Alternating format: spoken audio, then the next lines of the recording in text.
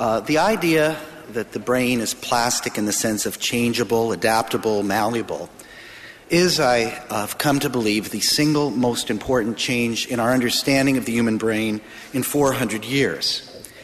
It's revolutionary, and since all human activities emerge from the brain, any change in our understanding of the brain ultimately has a major impact on anything that we do. I define neuroplasticity as that property of the brain that allows it to change its structure and its function. And that's in response to the actions that we commit ourselves to. It's in response to sensing and perceiving the world, and even quite fantastically, to thinking and imagining. Some very, very brilliant experiments conducted by Dr. Eric Kandel at the end of the uh, last century ultimately led up to the demonstration that human thoughts and learning actually turn on certain genes in our nerve cells, which allow those cells to make new connections between them. Eric Kandel was uh, a psychiatrist who actually wanted to be a psychoanalyst. Uh, he came from Vienna, and when you think of that, you think of Freud. And interestingly enough, it was Sigmund Freud who, in the 1880s and 90s, first speculated that thought actually leads to changes um, between uh, the connections in the brain cells. And in fact, he called it the law of association by simultaneity. Now, neuroscientists say neurons that fire together wire together. Uh, Freud called it the law of association by simultaneity because he thought when you experience two things simultaneously, the brain wires them together. So that's in part why you have a psychoanalyst here talking about brain plasticity. Another reason is that when I would be working as a psychiatrist and analyst with patients and they didn't get better, my colleagues were increasingly saying, well, these problems have been hardwired into their brains. Uh, because I was a poet, I could tell a metaphor when I heard one, and I knew it was a metaphor because, yes, when pa- the same patients did get better, nobody mentioned anything about hardwiring. Hardwiring was a kind of shorthand for the notion that these circuits had been genetically predetermined. This whole area has the sense of the fantastic about it the idea of thought changing the structure of matter.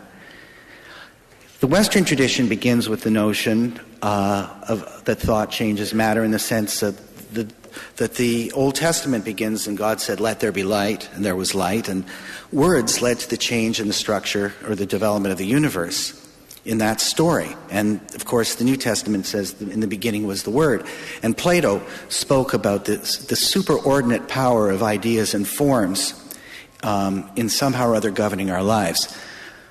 But that was, these were in some respects supernatural ideas, the idea of thought changing structure. Um, the Bible doesn't have the word nature in it, actually. Um, these were about these were extraordinary events.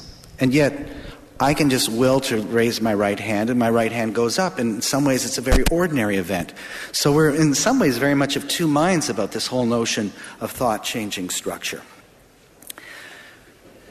Now that we're beginning to understand how these structures change, brain plasticity has implications for medicine, psychiatry, psychology, human nature, love, sexual attraction, acculturation, acquired tastes, our understanding of why addictions happen, pornography addictions.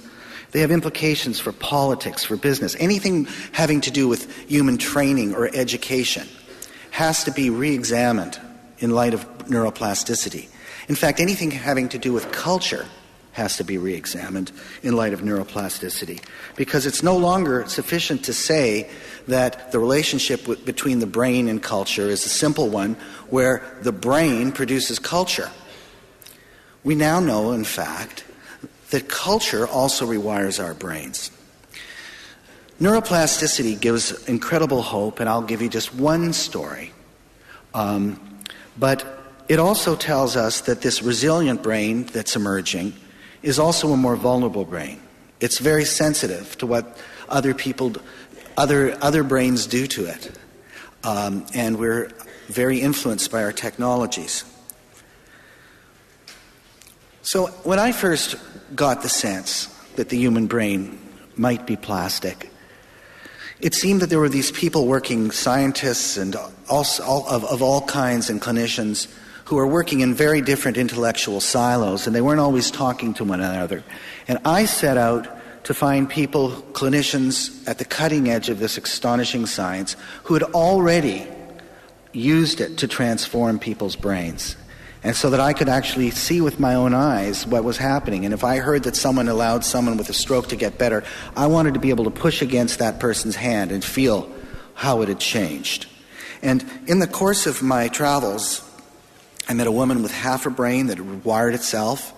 Um, I, I found um, many instances of learning disorders that were completely cured blind people who had people who had been congenitally blind since birth, learning to see with, in new methods, strokes and brain traumas um, changed, chronic pain erased. I saw children with cerebral palsy, a severe condition, learning to move their little hands more gracefully, and in my own practice, increasingly saw examples of how these principles could be used to alleviate entrenched anxieties and depressions. Now, the reason that this is a revolution is because for 400 years, our best and brightest scientists actually thought of the human brain as a complex machine, like a computer. A machine with parts, with each part performing just one function. And that is very much alive and with us today in the notion of the brain as a computer. Every time you open your newspaper and you see a picture of a brain scan and they say, this is where your brain processes music, in this part here. Well, it's all much more complicated than that. But this notion of the brain as a computer gave rise to what I've called a neurological nihilism, because it meant that those who were born with brain deficits or brain limitations had necessarily to live with them in all cases. It meant those who had sustained brain trauma, in all cases, could do nothing about it because machines do many glorious things, but they don't grow new parts, they don't rewire themselves. In medical school, I was taught all of these things and that there were no new cells in the brain. Um, and anyone who had a normal brain, who hoped to improve it or maintain it as they aged, was probably wasting their time. And above all, human nature, which was seen to emerge from the brain, was also seen as necessarily fixed insofar as we saw the brain to be fixed. Now, all this turns out to be spectacularly wrong. I'm not saying that the brain is infinitely malleable. I'm not greeting a bad metaphor with another extreme um, statement. I'm saying that we've underestimated the, what our brains can do and that we have to move more to the sensible middle in understanding and appreciating what change is possible. And